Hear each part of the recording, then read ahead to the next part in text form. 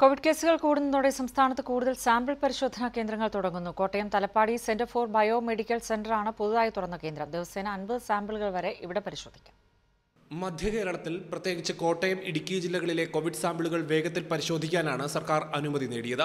Indian council for medical റിസർച്ചിന്റെ പരിശോധനകൾക്ക് ശേഷമാണ് തലപ്പാടി സെന്റർ ഫോർ ബയോമെഡിക്കലിൽ സാമ്പിൾ പരിശോധനയ്ക്കുള്ള അംഗീകാരം ലഭിച്ചത്. രണ്ട് മെഡിക്കൽ കോളേജുകൾ ഉൾപ്പെടെ സംസ്ഥാനത്ത് ഇപ്പോൾ ഏഴ് കേന്ദ്രങ്ങളിൽ കോവിഡ് സാമ്പിളുകൾ പരിശോധിക്കാം. ശരാശരി എട്ട് മണിക്കൂർ കൊണ്ട് കോട്ടയത്തെ കേന്ദ്രത്തിൽ നിന്നും സാമ്പിൾ ഫലം ലഭിക്കും. രണ്ടായിരത്തി പതിനഞ്ചിൽ തുടങ്ങിയ സ്ഥാപനത്തിൽ നിലവിൽ ആറ് ശാസ്ത്രജ്ഞരുണ്ട്. മോളിക്കുലാർ ബയോളജി വിദഗ്ധരാണ് കൂടുതൽ പേരും. ഒരു സാമ്പിളാണേലും തൊണ്ണൂറ് സാമ്പിളാണേലും സമയം ഒന്നാണ് എടുക്കുന്നത്. ഓരോ പേഷ്യന്റെ ഓരോന്നോരോന്നായിട്ട് ചെയ്യണം. അതിനാണ് സമയം എടുക്കുന്നത്. ആദ്യ മൂന്ന് ദിവസം ഈ കേന്ദ്രത്തിലെ പോസിറ്റീവ് ഫലങ്ങൾ ആലപ്പുഴ വൈറോളജി ഇൻസ്റ്റിറ്റ്യൂട്ടിലും പരിശോധിച്ച് ഉറപ്പിക്കും. വാർദ്ധക്യകാല അസുഖങ്ങൾ ഓട്ടിസം സംബന്ധിച്ച പഠനങ്ങൾ എന്നിവയാണ് ഇപ്പോൾ കേന്ദ്രത്തിൽ നടക്കുന്നത്.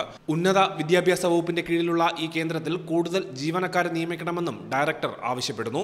രണ്ട് വർഷമായി സാമ്പത്തിക സഹായമില്ലാതെ തളർന്നു കിടന്ന സ്ഥാപനം. ഒടുവിൽ കോവിഡ് കേസുകളുടെ എണ്ണം കൂടിയതോടെ സർക്കാർ കോട്ടയത്തെ ബയോമെഡിക്കൽ റിസർച്ച് ഇൻസ്റ്റിറ്റ്യൂട്ട് പുനരുജ്ജീവിപ്പിച്ചു. ഇനി കൂടുതൽ ജില്ലകളിൽ നിന്നും കേസുകൾ ഇങ്ങോട്ടേക്കെത്തും. കോട്ടയത്ത് നിന്നും ജി കെ പി വിജേഷിനൊപ്പം ആർ പി വിനോദ് ഏഷ്യാനെറ്റ്